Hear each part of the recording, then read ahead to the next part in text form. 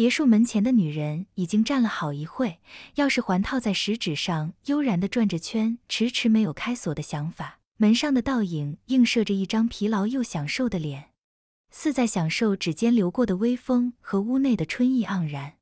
段巧很早就知道方逸远和保姆陈杰有一腿，豁达的他为了家庭和睦，并没有揭穿，而任由他们苟且。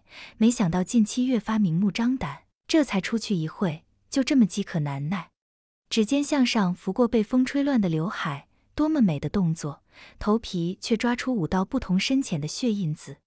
他浅呼一口气，微微扬起嘴角，做出一个生硬的微笑。罢了，干嘛要吃一个老女人的醋呢？支付几千块钱的工资，做着几万的事情，倒也蛮划算。她很久没见老公这么开心过了。结婚九年了，最初的时候，他偶尔还会耍点小性子。那时候的方逸远还很爱她，无论段巧脾气怎么不好，都会被包容。被温柔呵护，爱了三年，一切都变了，没了诱惑，没有了情绪，一个房间两床被子。方逸远从那个时候性格开始变得暴躁，对他也没了耐心，也很少会碰他，无非醉酒下的泄欲，即便这样也是敷衍了事。爱情的七年之痒，他在第三年就停滞了。如今包裙下的婀娜，还没拿着扫把的阿姨，充满诱惑力，令他可笑。他也想过离婚，当然也只是想想，因为他还有一个可爱的女儿。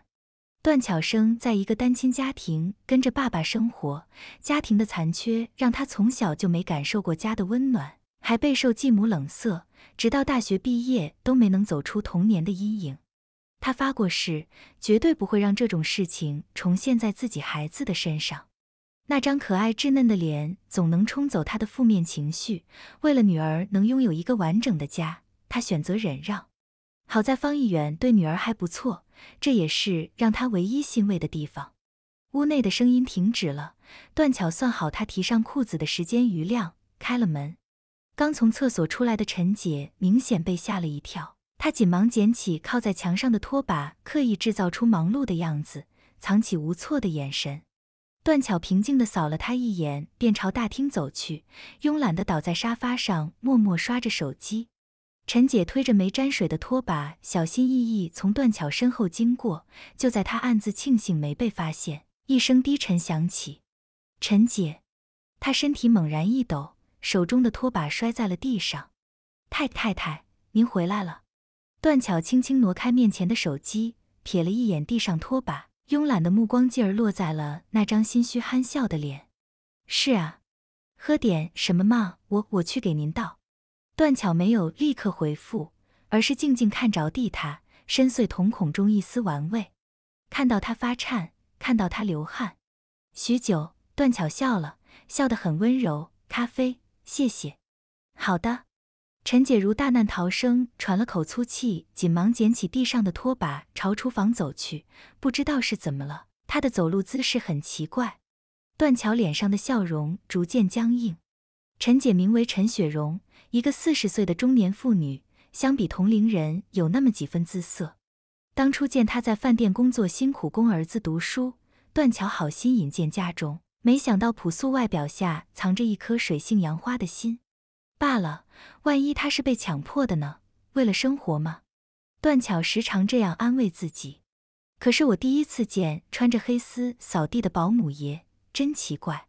方逸远光着上身从厕所出来，眼神有些疲惫，头发湿漉漉，分不清哪滴是汗水，哪滴是自来水。看到沙发上的段巧，他错愕了一下，随之挂上一抹厌恶，大摇大摆地回了房间。陈姐也不是第一个，方逸远并不在意段巧知不知道这些。换一种方式来说，他也想尽早结束这段没有意义的婚姻。他的幸福是建立在兴奋之上，倦了养了就该结束。不过离婚，他也只是想想罢了。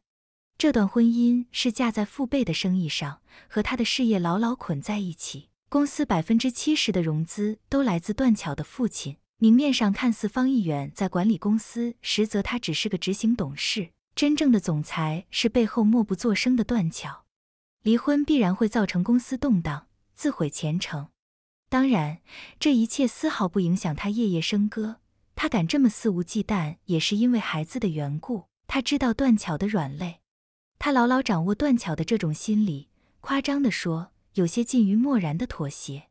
不知从什么时候，段巧喜欢将口红从中间折断，用锐利的边角涂抹嘴唇，涂得深一道浅一道。那是方逸远最喜欢的脏橘色。口红有时用来制造幻想，有时却用来掩盖落寂。化好妆，换上一身纯玉睡衣，肩上的吊带微微倾斜，让人想要一把将它撕烂。他来到卧室的门前，妖娆地看着床上的方逸远。时至今日，段巧还在试图挽救这段爱情，即便这狗男人绿了她那么多次。和小蜜聊正欢地，方一远歪头瞥了一眼门口，随即放下手机，看得出他被今天的女人吸引到了。加上和小蜜聊的心痒，让他迫不及待将门前的女人像件布偶一样扔在了床上。段巧的手磕在了床沿，很痛，但他没有叫出声。他扯开段巧的衣服，像揉搓一团失去活力的橡皮泥，下一秒又像垃圾一样掀在了地上。他喘着粗气，目光狰狞，抱青筋的手用力砸向床头柜，一下又一下。就因为你永远他妈在床上像个死人一样，我才会去找别的女人。躺在地上的段巧平静地看着天花板，他笑了笑得很开心，笑自己幼稚的行为。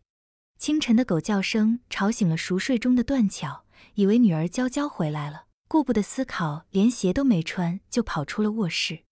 他趴在扶梯向楼下大厅看去，这时才恢复清醒。今天是星期三，娇娇还在上学。沙发上方，一远正在给他心爱的藏獒梳理毛发，又是几声狗叫。这几声是送给楼上的女人。藏獒的声音铿锵有力，如野兽般震得断桥浑身一颤。狗和方一远一样，都不待见这里的女主人。娇娇从小就怕狗，断巧明确过家里不能存在任何犬科类的动物。方一远偏偏养了一条世界上最大的狗，生怕他注意不到。方一远向上斜了一眼。眼神中似在说：“狗都比你好看。”段巧回了房间，方逸远继续梳着狗毛。光他妈知道叫，你倒是给我咬死他！他没好气地拍了下狗屁股：“滚出去吧！一个早上没见保姆，早餐也没做，可把方逸远气坏了。”陈姐，他刚准备去保姆房查看，突然停下来，又是那个声音，咚咚的声音似在敲门。昨晚他就听到了。他顺着声音方向一点点靠近，来到了电梯口。声音是从电梯里传出的。他按下按钮，什么东西？电梯打开，瞬间吓了他一跳。里面是陈姐，她虚弱的坐在角落，眼神看起来疲惫不堪。门开，他大口吸着氧气。你终于发现我了，他虚弱又没好气地说。我说人哪去了？电梯里传出难闻的味道。方逸远嫌弃地遮了遮鼻子，电梯故障，他从昨晚九点钟一直被困到现在，喊了一晚上，敲了一晚上。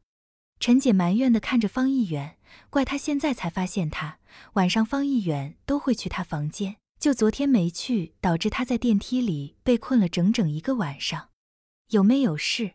迫于情人和老板的身份，方逸远还是象征性关心了一下，表情上微微透着不耐烦。似在表达，既然没事，就去做早饭。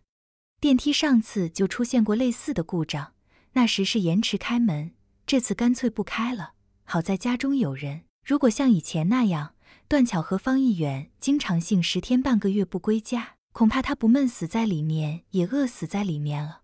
陈姐明知道方逸远只是把他当成泄欲的工具，还是幻想着这男人能上前扶他一把，帮他拍拍身上的灰。幻想终归是幻想。方逸远扔下那句“有没有事”，便没再看他第二眼。他也知道这顿早餐是吃不上了，干脆出去吃了。电梯回头，我找人修。陈姐艰难爬起身，刚出电梯就对上了楼上那双悻悻的眼。段巧慵懒地趴在楼梯扶手上，小口吃着全麦面包片，似在看话剧般看着那个狼狈的他，像故事中的反派掉进了陷阱。有些微爽，也有些同情。太太，你起来了，电梯坏了。陈姐挤出一丝僵硬的笑，手无措地指着电梯，努力掩饰着尴尬。其实段巧昨晚就听到了电梯传出的敲击声，也猜到个八九不离十。他有想过去放他出来，犹豫再三，还是决定给他个教训。我给您去做早餐，不用了，睡觉去吧。段巧虽不待见他，但也没那么的厌恶。陈姐的身世悲凉，丈夫死得早，最大的心愿就是儿子能出人头地，过上好生活。为了儿子就读更好的学校，才和方逸远苟且。也是无奈之举，段桥也清楚这些，曾有过开除他的想法，后来想想没有他，方逸远也会去找别的女人，也就觉得无所谓了。只是这女人从被动变得有些主动，让他很不爽。除了这档子见不得光的事，家里还是被他打理得很好，包括他对娇娇的好，段桥也看在眼里。哪有那么多对与错，怪自己命不好罢了。段桥自嘲地笑着。刚进办公室的方逸远就迫不及待将门反锁，像饿狼一样扑向小秘书：“快点，宝贝儿，客户九点到，我们还有一个小时的时间。这几天可把我想死了，谁这么大胆让你去出差？看我不开了他！”说话间，他的衣服已被脱剩一条内裤。今天的小蜜有些抗拒，没了以往的洒脱。远哥，我们不能这样了。他死死扯着自己衣服，娇声埋怨道。为什么？方逸远一愣，而后指着他的脸：“你是不是有新欢了？不要远哥了。”方逸远已经上头，顾不得他反抗，玩了命的撕扯他的衣服。哎呀！小蜜将他推开：“我要结婚了。”方逸远猛然停下了动作：“结婚？和谁？我爸妈已经催了我快两年了，再不结婚，他们就要和我断绝关系了。你不说等我吗？等你？”我要等到什么时候？漂亮的小蜜虽说头发长见识可不短，等我和他离婚就娶你进门。这句话他快听出老茧了。他很清楚公司的结构，也知道段巧的地位。方逸远离婚是根本不可能的事。小蜜也是为了方便在公司做些自己的事情，陪他玩玩罢了。如今利用完了，想拍拍屁股走人，方逸远却不干了。众多情人，只有秘书小夏才能满足他对女人的所有幻想，他自然是不舍。小夏，你再等等我，我快和他离婚了。方逸远恢复理智，穿上了衣服，边说边用动作描绘着：到时候我再送你一栋带有泳池的别墅给你和你的家人，快想想他们幸福的样子。你要等我呀，远哥不能失去你。小夏轻笑了一声。掏出他口袋的烟，点了支，轻轻吸上一口，盘着夜来香女郎的坐姿。远哥，你那套不管用了，我真的不能陪你玩了。哼，离婚？他笑得更轻蔑了。你舍得段老爷子的钱吗？我被看穿心思的方逸远一时咽住了话，他确实舍不得。总会有办法的吗？他岔开话题。什么办法？小夏不以为然的将烟碾灭，拿起外套就要走。离不成就丧偶吗？他死了，财产分配权第一个名字不就是你吗？真的是搞这么繁琐？什么？方逸远顿了一下，一瞬间的眼神像是忽然醒悟。我今天呢，就是来跟你告别的。别这样，以后还是朋友吗？他修长的手指轻轻拂过方逸远的下巴，娇媚的笑着。其实你比我那个未来老公厉害多了，哈哈。如果可以，我还是更愿意和远哥成为一家人。就这样，拜拜喽。打开门，他回眸俏皮的挤了下眼睛。下个月婚礼记得来哦。愣在原地的方逸远还停留在小夏那句玩笑话：他死了，财产分配权第一个名字不就是你吗？是你是你是你，一声声回音荡在他的脑袋里，微微发颤的手握出了汗。今晚的方议员一整夜都没睡。他坐在沙发上，对着电视里的循环广告发呆了一整夜，没换过一个动作。没人知道他在思考什么，在挣扎什么。直至清晨，陈姐端来一杯牛奶放在他面前，这才舍得挪开电视上的目光。究竟是什么电视可以让方先生这么着迷？陈姐的语气带着不悦，她还在因为电梯的事耿耿于怀。方逸远没有说话，看都没看他一眼。起身准备回房间睡觉，电梯我找到人修了，你不用找了。陈姐说。方逸远走了几步，突然停下，目光缓缓转向电梯门，平静的瞳孔开始逐渐扩大。门上似有一幅美丽的花，那般令他着迷。下一瞬，他猛然睁大眼睛，想到了一个绝妙的点子：电梯你找到人修了吗？真的找到了吗？什么时候过来呢？方逸远回过头，握紧陈姐的肩膀，情绪似打了鸡血，像极了产房外等待新生儿的家属。陈姐有些懵，消化了足足好一会，她不理解提到电梯位方逸远为什么这么激动。对对呀，什么时候过来我也不清楚，我从街上小广告上找的。他看了眼手上的时间，应该一会就来了，约好的九点上门。方议员想都没想，直接回绝了，叫他不用来了。为什么呀？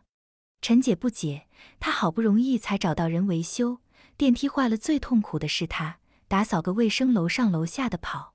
街边的广告怎么能信呢？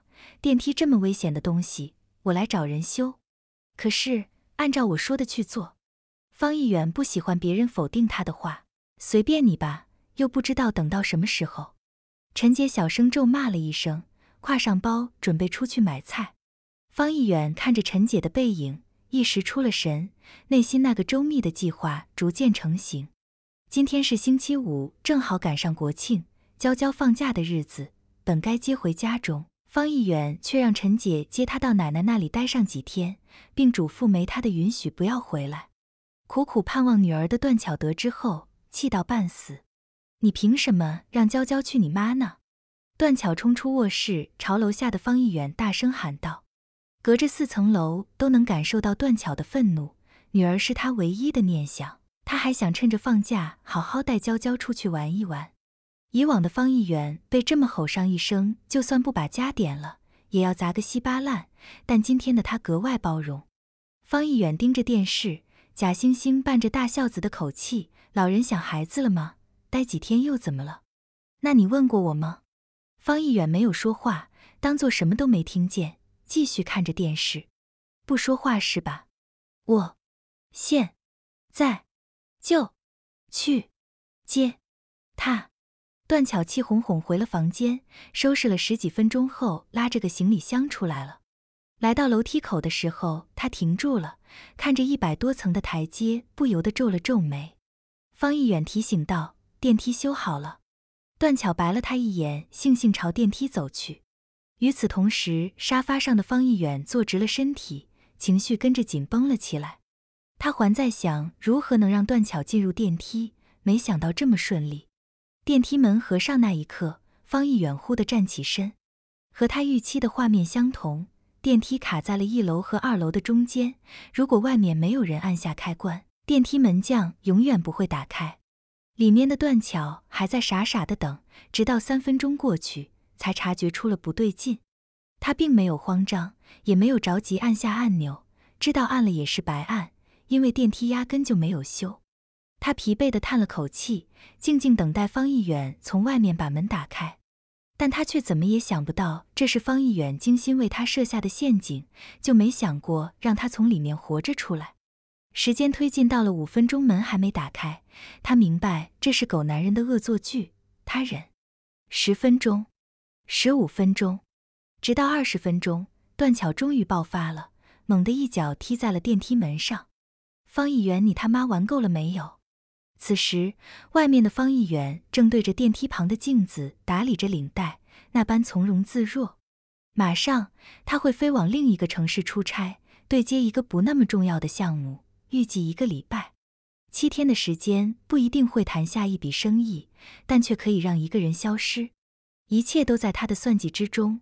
未来七天，没有人会发现断桥，没有人会解救他，他会在里面慢慢消陨。他的死会归于一场意外。方逸远会在七天之后，带着伤心的眼泪登门拜访断桥的父亲。一切的一切都会嫁祸给那部该死的电梯。断桥还在疯狂的砸门。方议员，你有本事一辈子别放我出来！他永远想不到这句气话已经变成了现实。方议远整理好领带，点上一支烟，深深吸上一大口，仰头闭眼，享受着尼古丁带来的快感。随着一个硕大的烟圈在电梯门上化解，他恍惚的目光变得狰狞，紧接拖上行李，头也不回的走了，留下的只有断巧无尽的愤怒。时间推进五个小时，凌晨十二点，断桥已经被关了五个小时零二十分钟。他坐在地上大口呼吸着，几个小时的挣扎让他在这狭小空间有些供氧不足。电梯里的温度和外面的深秋显得格格不入，闷热无比。汗水浸湿了他胸口，干燥的口腔不断吞咽着口水。缺氧、口渴，又来了内急，不断升华的痛苦让他近于崩溃。这里没有信号，手机就是件摆设。他央求着，哭诉着：“方议员，你放我出去！”他在门上的手显得那般无助。他还不知道，此时的家里只有一人一狗。方一远早已飞往一千公里以外的城市，狗都备好了一个星期的水和粮食，他却只能喝自己的口水和唇上被咬破流出来的血。灰色牛仔裤上出现了一块手掌般大小的印记，开始向外蔓延，直至覆盖整个臀部，凝成水珠滴在了地上。他缓缓低下头，看着腿下的湿漉，像只好奇的小猫，傻傻的。呆呆的看着，下一瞬，他忽然变得暴躁，疯狂踹门，嘶喊到喉咙沙哑：“方议员，你他妈不得好死！你就是个畜生！”稀薄的氧气无法支撑他骂完方议员祖上十八代，骂到一半就昏了过去。时间推进四十三小时，断桥已经被困了整整两天两夜。这段时间里，他昏了无数次，醒了无数次。身体已经严重脱水，别说踹门了，他现在连手举过头顶的力气都没有了。他终于意识到事态的严重性，这不是恶作剧，不是家庭暴力，方逸远是玩真的，是真的要困死他。他不敢相信这种事会发生在自己的身上，时常觉着这只是一场噩梦。他看来，方逸远虽然混，但不会这么狠。很显然。他错了，狼不会因为好心人的一块肉而不咬他的羊。断巧的精神开始混沌，始终处于半睡半醒。他哼唧着，喃喃着，声音越来越小，气息越来越虚弱。一瞬间，娇娇那张可爱的脸闪过断巧的脑海，让她猛然睁大了眼睛，恢复了神智。她使出全身力气爬向电梯门，扣着门缝。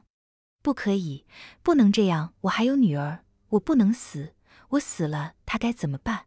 芳芳一远，我求求你，求你放我出去。娇娇不能没有妈妈。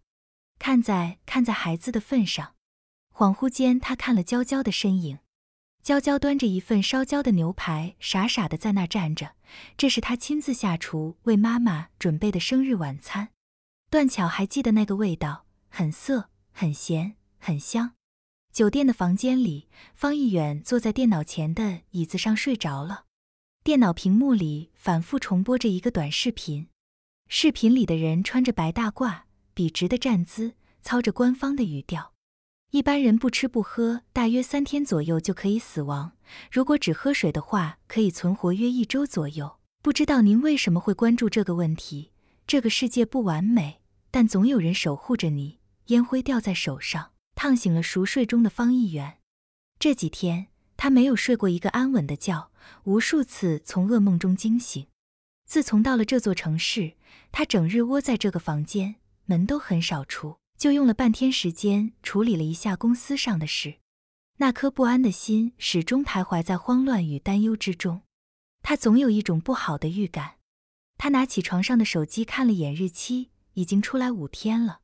一想到电梯里的断桥已经变成了一具尸体，那只拿着烟的手就开始不受控制的颤抖，转瞬间又变得亢奋，终于摆脱了这死女人。突然的敲门声吓得他一哆嗦：“谁呀？先生，您要的酒。”他深呼吸，擦去额头上的汗，上前开门。现在唯有酒精才能舒缓他紧绷的神经。谢谢。他低着头接过餐盘上的红酒，掏出了两百小费扔在了上面，无意间瞟到了服务员的手，尤其是手背上靠着拇指的那颗痣。段桥手上也有这颗痣，而且跟女服务员手上的位置相同，这不禁勾起方一远的好奇心：怎么会有这妖巧的痣？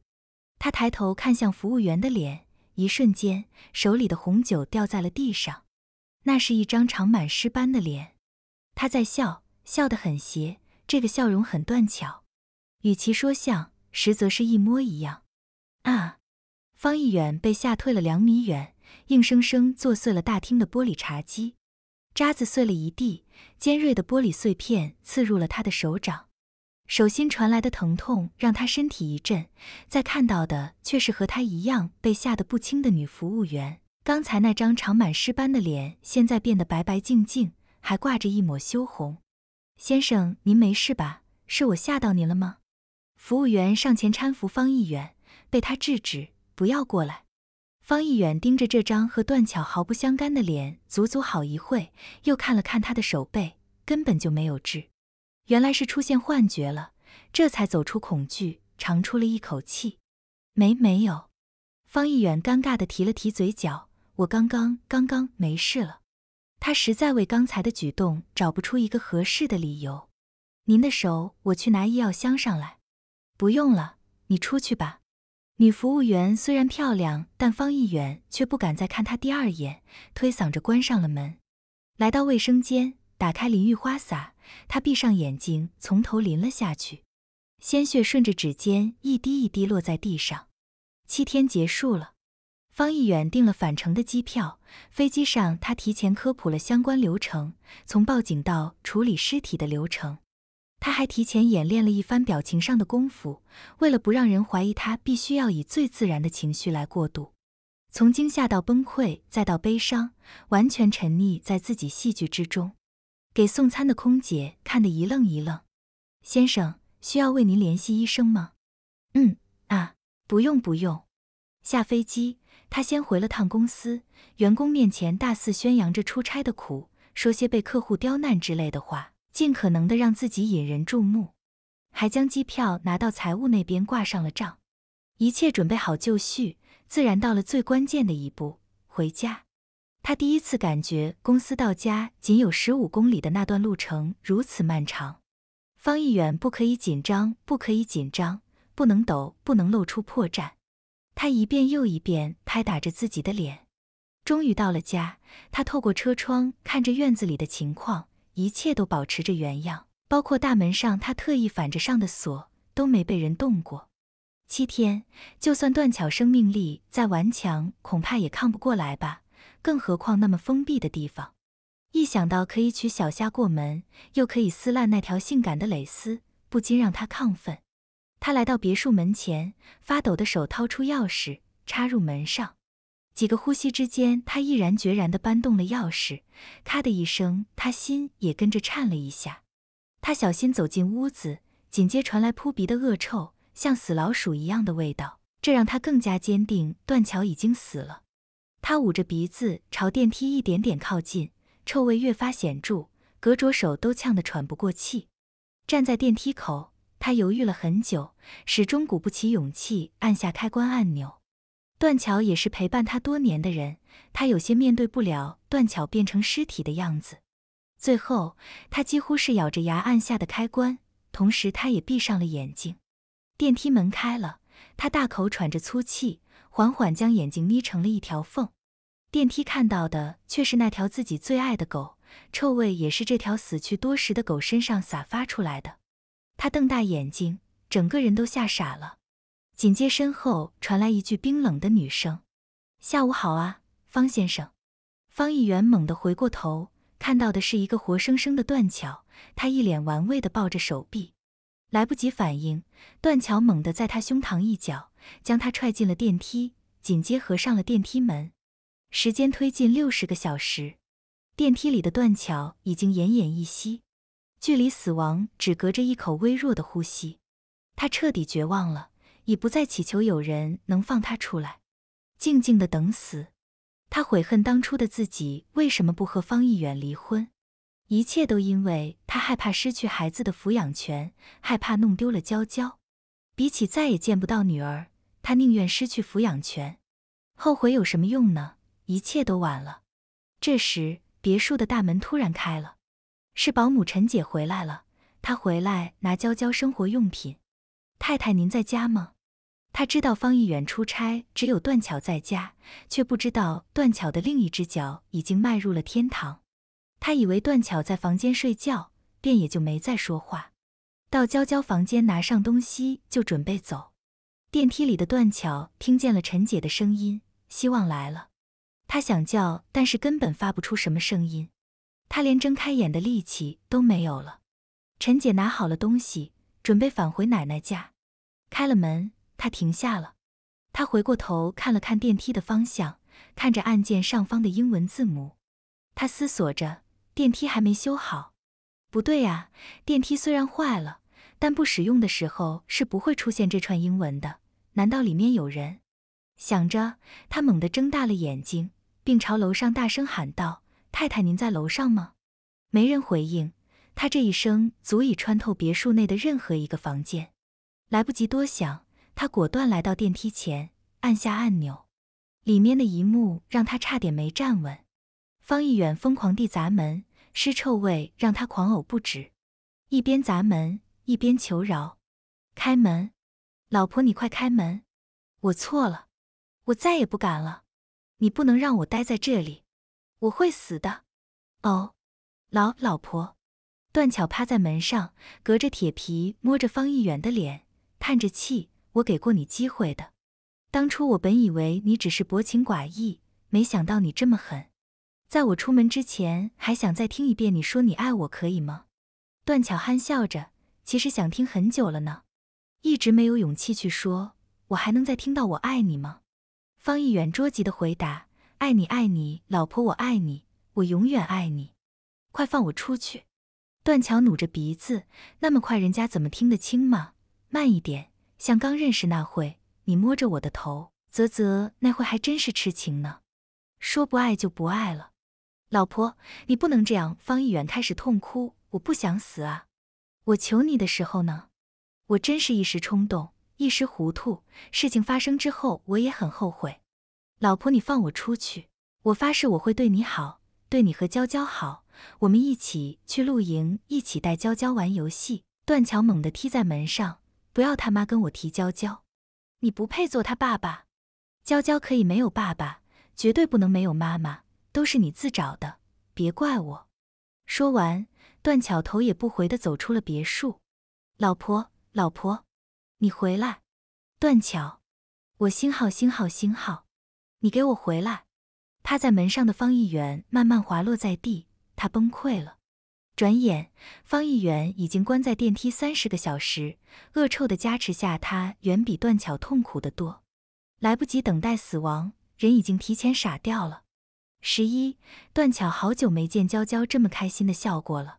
你快看呀，这是爸爸给我叠的千纸鹤，可好看了，真棒！段巧疼爱的捏着他的小脸。